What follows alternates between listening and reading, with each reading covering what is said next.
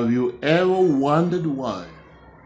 There are times when we are sick and we ignore. We say, No, I'm not sick. And we're refusing to even take medication.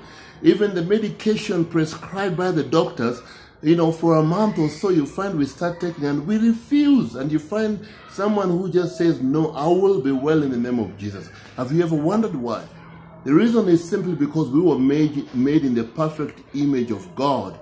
And we were meant to be eternal and perfect.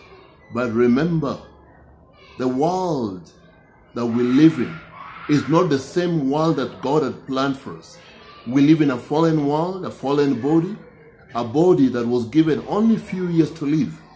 And indeed, while we live in this life, while we live in this body, we must also make a decision, make a choice. Just like an old car requiring maintenance, equally in this fallen body that we live in will require maintenance and constant supervision for us to live well and live life to the full, the life that God planned for us. To those of us who are old enough, we must accept that we are old. When I was a child, I reasoned like a child, I played like a child.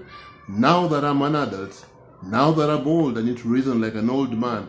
There are times when as human beings we're just naive when it comes to issues of health. We are so big about planning for our retirement. We are big about saving for our retirement.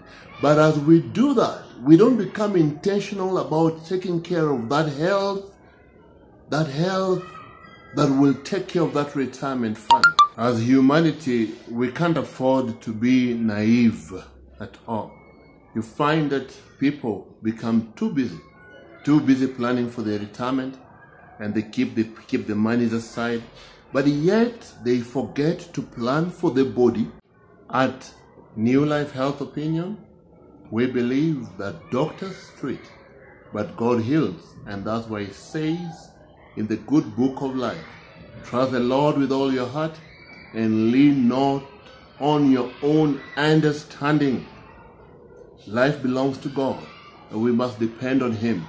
This I will say without any shame that doctors treat, but doctors do not have the capacity and capability to heal. Healing belongs to God.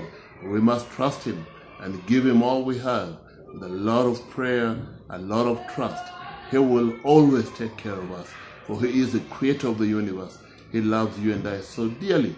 He is the Father and the Mother of the universe. Always provide without a single doubt. Welcome, and I hope you'll enjoy this journey with us as we take you through this. Thank you for watching this.